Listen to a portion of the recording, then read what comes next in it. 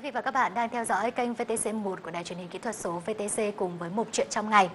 Thưa quý vị và các bạn, ở tên tuổi và sự nghiệp của danh nhân văn hóa thế giới Đại thi hảo Nguyễn Du, đặc biệt là tác phẩm truyện Kiều, đỉnh cao của nền văn học cổ điển nước nhà đã góp phần đưa văn học Việt Nam trở thành một phần của tinh hoa văn hóa nhân loại, ghi dấu ấn của văn học Việt Nam trên thi đàn quốc tế. Vâng, khi mà chúng ta nhắc đến truyện Kiều của Đại thi hào Nguyễn Du thì có lẽ những cái vần thơ mà tôi nghĩ là bất kỳ ai yêu mến văn học nước nhà cũng đều không thể nào không thuộc được. Đầu lòng hai ả tố Nga, Thúy Kiều là chị, em là Thí Vân. À, thưa quý vị và các bạn, những đề thơ rất đổi quen thuộc đối với những ai yêu mến nền văn học nước nhà. Và năm nay là tròn 200 năm ngày mất của Đại thi hào Nguyễn Du. Lễ dỗ của Đại thi hào Nguyễn Du được tổ chức trang trọng tại quê nhà là dịp để Hà Tĩnh và người dân trong và ngoài nước tôn vinh những giá trị tinh thần to lớn mà danh nhân văn hóa thế giới Đại thi hào Nguyễn Du để lại cho dân tộc, cho nhân loại. Nguyễn Du, tự Tố Như, hiệu Thanh Hiên, sinh ngày 23 tháng 11 năm Ất Dậu 1765 tại Thăng Long, Hà Nội, trong một dòng họ khoa bảng nổi tiếng bậc nhất thời bấy giờ ở xứ Nghệ. Ông là con trai thứ bảy của tể tướng Đại tư đồ Xuân Quận Công Nguyễn Nghiễm, quê ở xã Tiên Điền, huyện Nghi Xuân, tỉnh Hà Tĩnh. Mẹ là Trần Thị Tần, người Kinh Bắc. Chính sự kết tinh trong môi trường văn hóa của ba vùng đất văn vật là xứ Nghệ, quê cha, Thăng Long và Kinh Bắc, quê mẹ, cùng truyền thống văn chương khoa bảng của dòng họ, gia đình đã ảnh hưởng sâu sắc đến tài năng và cốt cách của Nguyễn Du. trong họ Nguyễn Tiên Điền này thì không những ờ, dòng họ tự hào mà địa phương và cả nước dân tộc ta đều tự hào. Thì tự hào thứ nhất là về cụ Nguyễn Nghiệm mà thinh ra cụ Nguyễn Du thì cậu đồ tiến sĩ lúc 24 tuổi, sau đó có cụ làm quán điều thứ hai mà chúng tôi cũng tự hào là nước Việt Nam ta hồi thủ cụ Nguyễn Du thì ờ, tức là A năm Ngũ Tuyệt có năm nhà thơ lớn, thì dòng họ Nguyễn chúng tôi đã có hai hai người đó là cụ Nguyễn Du và cụ Nguyễn Hành Sống trong một giai đoạn lịch sử đầy biến động, cuộc đời của Nguyễn Du lắm thăng trầm. Làm quan trong triều Nguyễn, lúc lại sống âm thầm, lặng lẽ với những dây dứt về thời cuộc và gia cảnh tại quê hương. Nguyễn Du là danh nhân tiêu biểu nhất của dòng họ Nguyễn, Tiên Điền. Ông cùng với người cháu là Nguyễn Hành được lịch sử xếp vào An Năm Ngũ Tuyệt, hai trong số năm nhà thơ giỏi nhất An Nam. Rất nhiều cái yếu tố ờ, về văn hóa các vùng miền cũng đã kết tinh ờ, trong cái con người Nguyễn Du. Đó là cái ờ, trước hết là cái núi hồng sông Lam, cái văn hóa xứ nghệ của cái quê nội. Cái thứ hai đó là cái quê ngoại xứ kinh Bắc, mẹ của Nguyễn Du.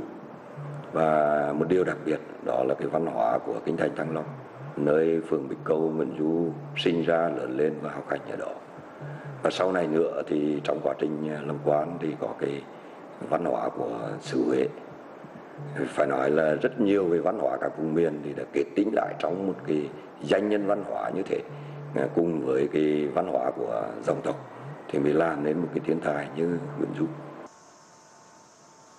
Sự nghiệp văn chương của Nguyễn Du để lại cho hậu thế nhiều tác phẩm có giá trị như Thanh Hiên Thi Tập, Nam Trung Tạp Ngâm, Bắc Hành Tạp Lục, Lê Quý Kỳ Sửu, Văn Tế Thập Loại Chúng Sinh và đặc biệt là đoạn trường Tân Thanh thường gọi là truyện Kiều.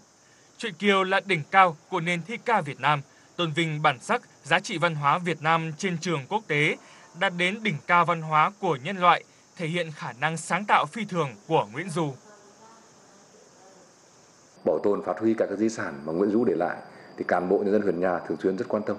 Đó là hệ thống di tích, là dinh thự của dòng họ Nguyễn Tiên Điền để lại. Tôi luôn luôn quan tâm bảo tồn phát huy giá trị này. Hai là các tác phẩm của Nguyễn Du, đặc biệt là truyện Kiều, thì Nghi Xuân là một trong địa phương cũng được thường xuyên quan tâm và chúng tôi là đơn vị đầu tiên tổ chức cuộc thi bạn đọc thuộc Kiều trong các trường học rồi là các cái hoạt động câu lạc bộ trò Kiều của Tiên Điền Xuân Liên thường xuyên được bảo tồn phát huy. Nguyễn Du là một nhà thơ lớn nhất Việt Nam từ trước đến nay, là đại thi hào dân tộc, được UNESCO tôn vinh là danh nhân văn hóa thế giới. Tưởng nhớ đến ông, tại huyện Nghi Xuân, Hà Tĩnh đã xây dựng khu lưu niệm đại thi hào Nguyễn Du để phục vụ du khách đến tham quan, nghiên cứu và tìm hiểu về thân thế sự nghiệp của Nguyễn Du. Hơn 200 năm, truyện Kiều của đại thi hào Nguyễn Du đã trở thành một giá trị văn hóa xuyên quốc gia, xuyên thời đại. Từ ngày ra đời đến nay thì truyện Kiều và tác giả của nó cũng trầm luân như chính số phận của nàng Kiều. Tôn vinh cũng có, mà chê bai, mà sát thì cũng không thiếu. Vâng, tôi nghĩ rằng là khác với nhiều tác phẩm khác dễ bị lãng quên theo thời gian, Thời gian càng lùi xa thì dường như là những giá trị của truyện Kiều ngày càng hiện lên rõ hơn và rực rỡ. Không dừng lại ở những án thơ Việt mà thế hệ người Việt thuộc nằm lòng. Đến nay, truyện Kiều đã được dịch ra trên 20 thứ tiếng với trên 60 bản dịch khác nhau, trong đó tiếng Pháp có 15 bản, tiếng Anh có 14 bản, tiếng Trung 11 bản và tiếng Nhật 5 bản. Sự lan tỏa văn hóa đã khẳng định được giá trị trong lòng công chúng cũng như nền văn học thế giới. Truyện Kiều của Nguyễn Du là tác phẩm kiệt xuất, qua dòng chảy thời gian vẫn còn nguyên giá trị nhân văn sâu sắc, mang khát vọng hạnh phúc, tình yêu, tự do và công lý, tố cáo mạnh mẽ chế độ phong kiến. Mỗi độ tuổi học ở truyện Kiều một giá trị khác nhau, hướng con người đạt đến giá trị chân, thiện, mỹ, truyền kiều nó tiếp tục cái giá trị với cái thế trẻ. Và trong cái ờ, quá trình mà dạy học truyền kiều thì um, nhà trường và những cái giáo viên thì thường là vẫn um, có những cái hình thức để có thể làm cho cái truyền kiều nó lan tỏa và thẩm sâu vào cái đời sống của uh, cái thế hệ trẻ đặc biệt là cái tính chất giáo dục cái uh, cái cái lối sống giáo dục cái đạo đức giáo dục cái ờ, ứng xử mang tính chất văn hóa à, của cái giới trẻ. Và chính vì những cái điều đó làm cho cái tuyên kiều nó rất là gần gũi với cái cuộc sống à, của à, của chúng ta ngày nay. Tuyên kiều cùng với chân ca vị rằng là những cái di sản văn hóa đã được thế giới công nhận.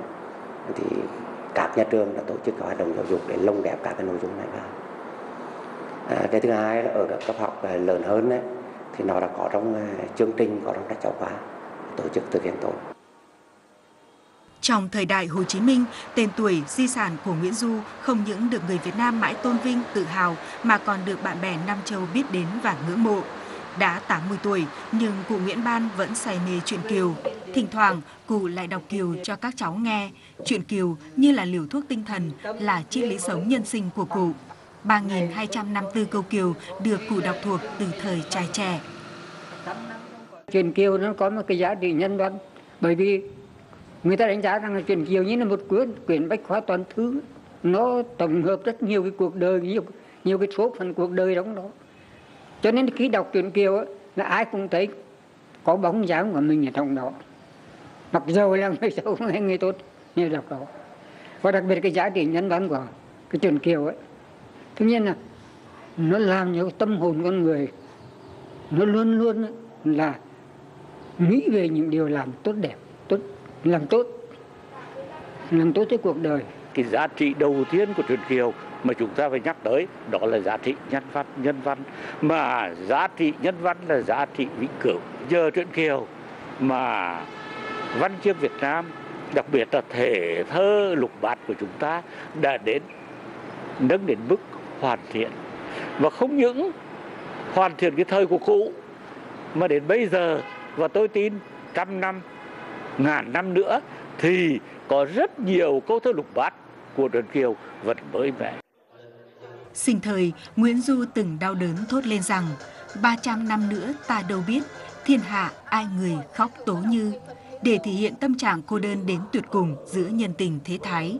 Tuy nhiên, kể từ khi nhà thơ từ giã cõi trần, kho di sản văn thơ vô giá của người, đặc biệt là truyện Kiều, đã trở thành nguồn mạch dân tộc và là một phần máu thịt trong đời sống tâm hồn của dân tộc Việt Nam. Truyện Kiều sẽ tiếp tục trường tồn cùng dân tộc, đồng thời không ngừng lan tỏa và không ngừng được khám phá trên toàn thế giới. Vâng, hơn 200 năm kể từ khi ra đời và được phổ biến rộng rãi trên toàn thế giới, truyện Kiều được biết đến như là một tinh hoa văn hóa Việt. Để rồi trong các sự kiện lịch sử, văn hóa, chính trị, ngoại giao, những câu Kiều không chỉ được các lãnh đạo Việt Nam sử dụng mà ngay cả các chính khách nước ngoài cũng không ít lần lấy kiều để sử dụng trong các sự kiện quan trọng. Sen tàn cúc lại nở hoa, sầu dài ngày ngắn đông đà sang xuân. Đó là hai câu kiều được Tổng thống Mỹ Bill Clinton ngâm nga trong chuyến thăm đầu tiên đến Việt Nam với vai trò Tổng thống vào tháng 11 năm 2000. Câu thơ đã diễn tả về sự thay đổi của vạn vật qua bốn mùa, rồi từ đó chuyển sang ý tưởng thời cuộc và quan hệ ngoại giao giữa hai nước 15 năm sau, Phó Tổng thống Mỹ Joe Biden đã mượn câu kiều của đại thi hảo Nguyễn Du. Trời còn để có hôm nay, tan xương đầu ngõ, vén mây giữa trời. để nói về mối quan hệ tươi sáng Việt-Mỹ trong tương lai khi tiếp đón Tổng bí thư Nguyễn Phú Trọng tại Washington hồi tháng 7 năm 2015.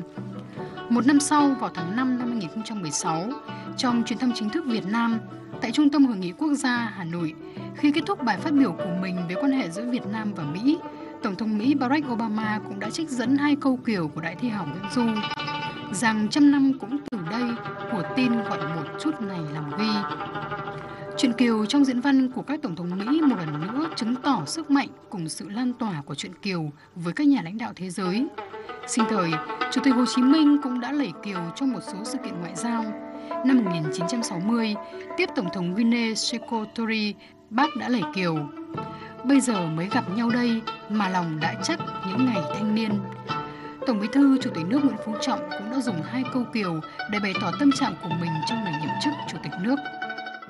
Khi được phát biểu trước Quốc hội, tôi cũng ngẫu hứng lẩy hai câu kiều. Nghĩ mình phận mỏng cánh chuồn, khuôn xanh biết có vuông tròn mà hay. Đến bây giờ cũng đang trong tâm trạng ấy. Hơn 200 năm, một hành trình lịch sử Chuyện Kiều của Đại thi hảo Nguyễn Du đã chứng tỏ tầm ảnh hưởng và sức lan tỏa lớn lao với các nhà lãnh đạo thế giới và quan trọng hơn là để kết nối con người, kết nối các nền văn hóa với nhau.